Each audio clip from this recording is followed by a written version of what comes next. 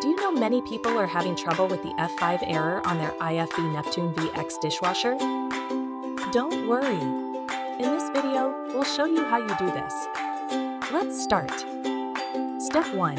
Identify F5 error. The F5 error means your dishwasher is experiencing inadequate water supply.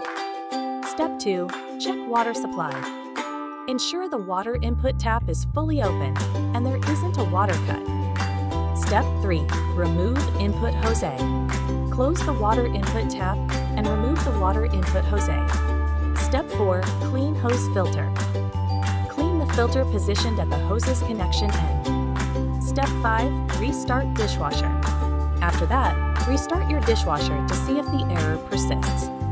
By following these steps, you should be able to solve the F5 error on your dishwasher. If not, professional help may be needed. Help? Visit our website for the complete manual. There you will also find questions and answers from other IFB users. Did you find this video helpful? By subscribing, you help us continue to answer users' questions.